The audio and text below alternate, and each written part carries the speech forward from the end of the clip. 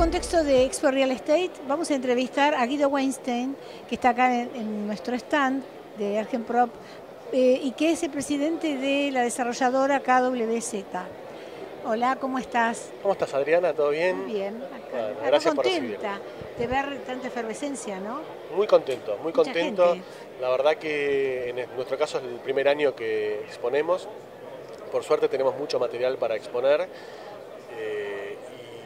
Realmente ya lo que fue el primer día fue muy exitoso. Pasó muchísima gente, muchísimos contactos. Eh, muchas consultas, la verdad que muy, muy sorprendida. La firma es una desarrolladora, pero vos me estabas contando que en realidad comenzó como un estudio de arquitectura. Sí, y lo sigue sí, siendo. En realidad nosotros nacimos como estudio de arquitectura, el estudio nació hace 15 años, somos jóvenes, o sea que éramos más jóvenes todavía. Eh, nada, en estos 15 años se fueron potenciando los proyectos, fuimos creciendo en cantidad y en calidad y en escala de proyectos lo que nos pasó es que con el paso del tiempo el estudio, que sigue siendo estudio de arquitectura y seguimos haciendo arquitectura, intentamos hacer una buena arquitectura, se fue también eh, mutando y fue cambiando hacia el, desarrollo inmobiliario. Entonces hoy nos transformamos de alguna manera más en una desarrolladora inmobiliaria que en un estudio, más allá de que desarrollamos y hacemos la parte de proyecto y dirección de nuestras propias obras. Pero hoy le dimos un enfoque más del más de, desarrollo. Y sé que tenés muchos proyectos, pero ¿por qué no me contás un poco zonas, estilos? Eh, es decir, ¿a qué apuntan esos desarrollos? ¿Qué necesidades tiene la demanda? Y si ustedes piensan en eso, en función de eso, están construyendo. Eh, nosotros lo que no, lo que no podemos perder de vista es que estamos inmersos en un negocio. ¿sí? Entonces, eh, el negocio, se nos van presentando diferentes alternativas que uno las va evaluando y en esa evaluación uno decide si está para, para hacer el negocio o eventualmente para no hacerlo. ¿sí? ¿De qué depende? Bueno, hay un montón de factores, desde los valores de, los, de las tierras, de los terrenos, los valores de las incidencias, de repente qué potencial tiene el terreno, qué atractivo puede tener un terreno. Nosotros hay muchas obras que las hacemos en la, periferia, ¿sí? de repente Sevilla del Parque, La Boca, el Corredor Donado, son lugares en algunos casos periféricos. Sin embargo, cada uno de los terrenos tiene algún tipo de particularidad que, tratamos de buscar que, que sea eh, realmente eh, atractivo y que uno después lo pueda ofrecer. Te doy un ejemplo, por ejemplo. ¿sí? Estamos haciendo una obra en Villa del Parque. Villa del Parque para nosotros es nuestra primera obra. Nosotros nunca habíamos ido a desarrollar ese lugar. ¿sí? Sin embargo, logramos conseguir un terreno que es media manzana, donde logramos un parque que tiene 4.000 metros. Entonces, ese, ese proyecto no solo nos interesó por el lugar, que era para satisfacer una demanda de una clase media, sino que aparte tiene algo que es muy, muy lindo, muy atractivo, que es poder entrar en un complejo, poder entrar a una especie de barrio privado en Villa del Parque. Entonces de repente fuimos a un lugar que es periférico, que es para una demanda de clase media, sin embargo tiene un plus y un atractivo y un peso propio muy interesante. Y esto que nos pasó en Villa del Parque nos pasó eventualmente en La Boca, nos pasó en una obra que ahora tiene algún nivel digamos, de conflicto a nivel vecinal, pero que bueno, suponemos, estimamos que se va a solucionar, pero lo que es Palacio Ratalata también.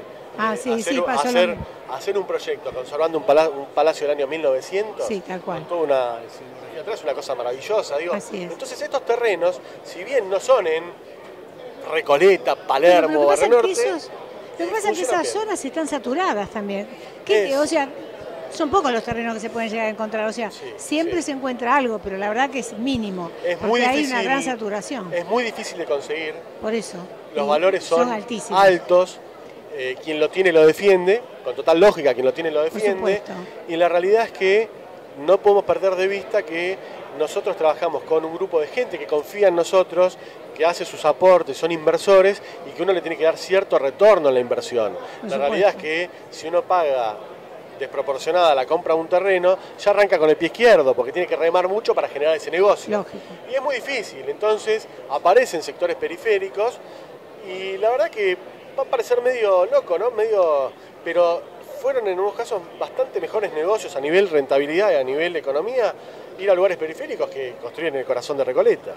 Bueno, además tiene un plus eso, ¿no? Porque es una manera de ir eh, transformando las zonas y dándole la posibilidad que la gente que vive en esas zonas, que a lo mejor antes no tenía, eh, opciones, de, digamos, de vivienda diferentes y, digamos, ir subiendo ¿no? las posibilidades, eh, el tipo de oferta, las condiciones de esa oferta, ¿no? O sea, permitirles acceder a ese tipo. No, no, no solo. Entonces me parece que es una transformación muy positiva. Se, van generando nuevos polos. Exacto. Eh, y son polos de vuelta. No todos tienen la chance de ir a mudarse al, corazón de al corazón de Palermo. No, por supuesto. No todos tienen la chance de comprar eso.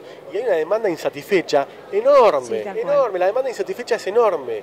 Entonces me parece que está bueno apuntar a lugares que uno tenga, que tenga una perspectiva de crecimiento y que tenga accesibilidad a esa demanda insatisfecha. Ahora, ustedes, por ejemplo, trabajan, ahora que todo el mundo está hablando de los créditos, viste que es el furor de la expo, todo el mundo, es el tema, la vedette del día, y va, de estos dos días.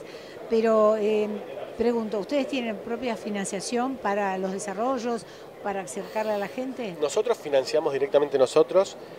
No financiamos directamente nosotros por, por ser la Madre Teresa, financiamos directamente nosotros porque entendemos que es una facilidad y una potencialidad que le das al comprador para que el comprador, digamos, compre. Y resolver de alguna manera también el negocio, ¿no? Eh, también depende, también depende mucho la ubicación de la obra y no es lo mismo el comprador de lo periférico que es de vuelta un público de clase media, que tiene un cierto nivel de ingresos, y de ese cierto nivel de ingresos puede, puede aplicar a la cuota, que un tipo que compra, digamos, en Recolete, que de repente tal vez tenga toda la plata junta, bueno, son, perfiles diferentes. Son situaciones distintas. Ahora, eh, sí entiendo que los créditos van a motorizar mucho, mucho todo esto, eh, todos estos nuevos polos. Eso no tengo duda.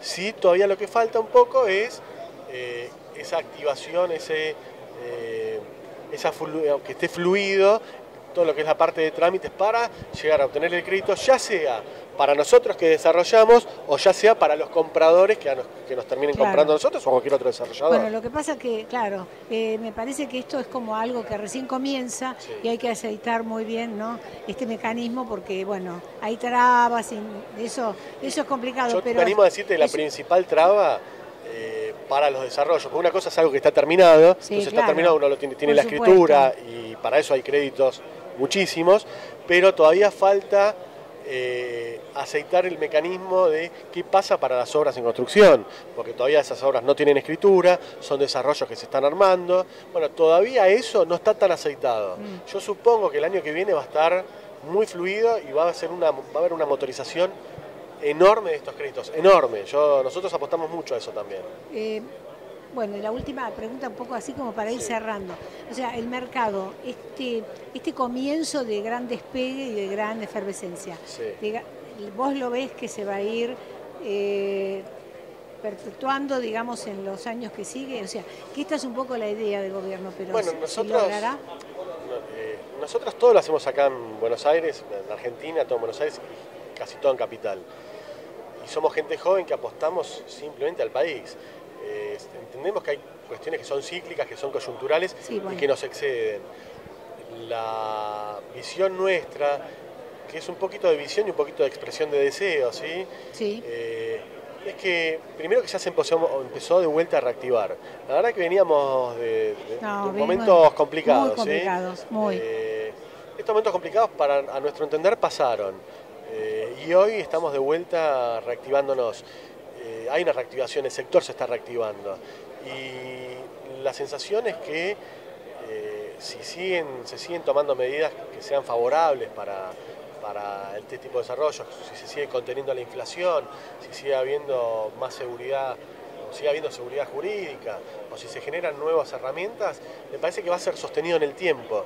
Eh, y uno no puede dejar de, pensar, y uno no puede dejar de, de entender que ya desde la época de, por lo menos de nuestros abuelos, el ladrillo y la propiedad, más allá de, los, de las fluctuaciones y más allá de la economía, más allá de los gobiernos y más allá de todo lo que atravesó el país históricamente, siempre la persona que se, mantuvo en, ladrillos, en unidades, en departamentos, en locales, en cocheras o en lo que sea, digamos, de, relacionado o, ganó o pudo sostener su capital, aún en momentos difíciles donde capaz que bajó mucho el precio de la propiedad, pero quien la aguantó volvió a recuperarse y en general, y a mí me toca lidiar con, muchos inversores, estar con muchos inversores, en algunos casos, digamos, tipos más mayores a mí, que históricamente, y le fue muy bien, y le fue muy bien, históricamente vienen invirtiendo en propiedades y le fue muy bien. Y además todo el mundo sueña con la casa propia. Y eso, con la casa propia. Esto es fundamental, ¿no? Porque es la piedra fundamental. Total, total.